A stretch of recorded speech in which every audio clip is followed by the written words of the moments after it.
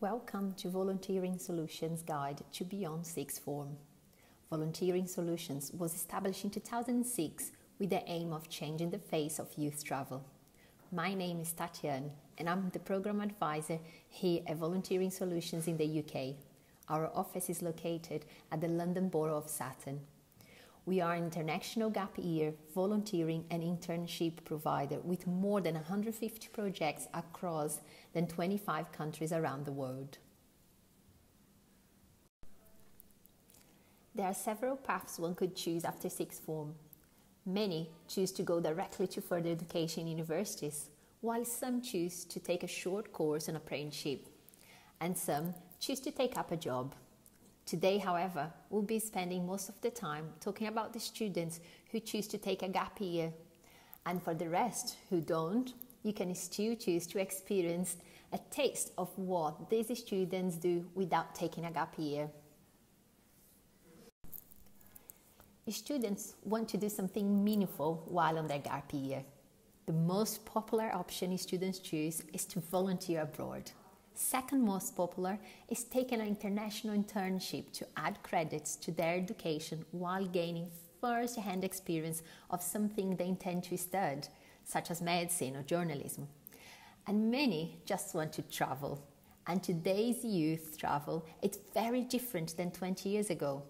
Youth now are more aware and really want to give something back. Okay, Let's talk a little bit about volunteering abroad. Why to volunteer abroad? First and foremost, volunteering is a humbling experience. This is where you find happiness when giving selflessly.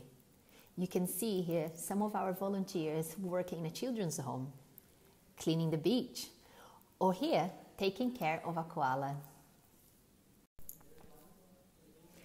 Many organizations today provide a diploma for volunteering abroad. Volunteering Solutions offers a diploma in international volunteering, which consists of five modules, one of each involves international volunteering placement. This course itself will help you to prepare for your placement. And once the five modules are completed, you gain a UK qualification that is recognized internationally. Diploma in International Volunteering is a 41 credit qualification, a value of up to 21 credits in Europe, or the SCH scheme. In the US, this qualification would be equal to 10 academic credits. So, if you don't want to lose a whole year, you can choose to take up the Level 3 Diploma in International Volunteering and get credit for you when you are ready to go to university.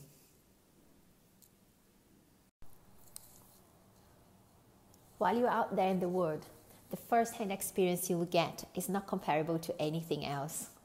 You will see a different culture, taste a different cuisine. You learn different ways of living. Most of all, you come back home feeling grateful for the little things. After all, when you see things that are basic to us, sometimes are privileged to others.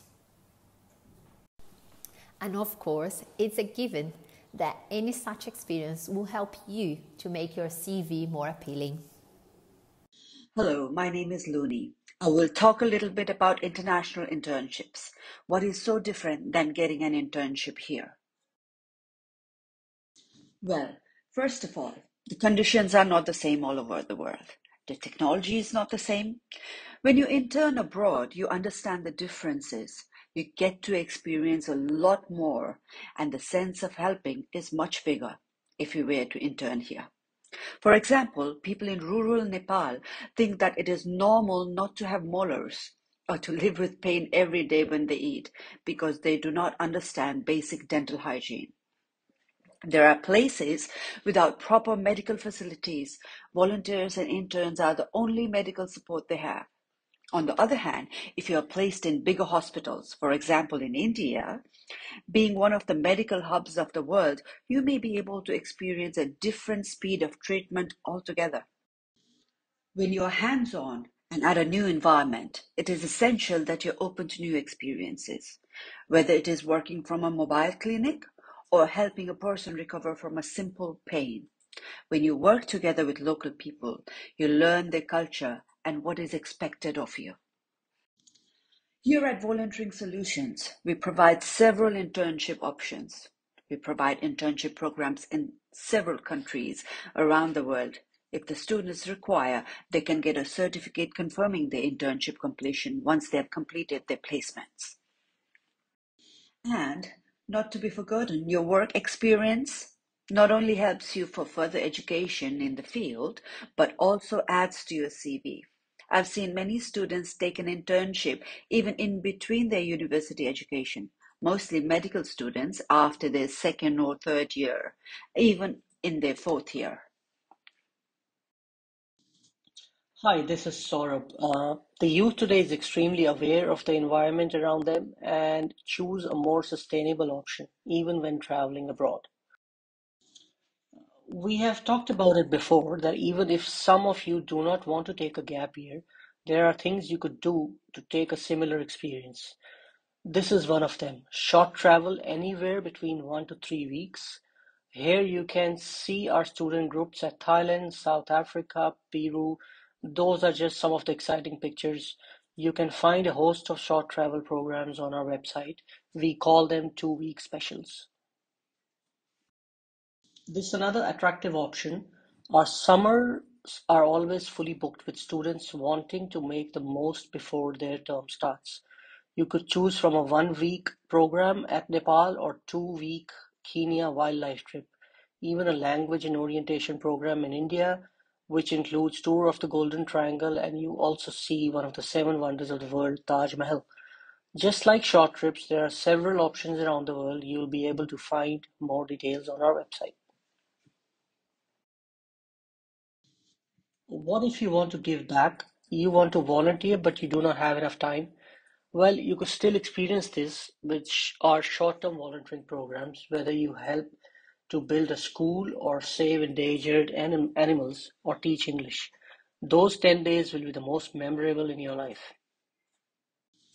And while you're at it, our programs allow you to learn the local culture, their cuisine, as most of our programs will have you staying with the host families and eat local cuisine unless you have dietary requirements, which are obviously taken care of by our host families.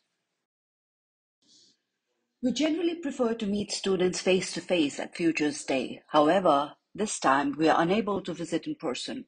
Hope this presentation has been helpful.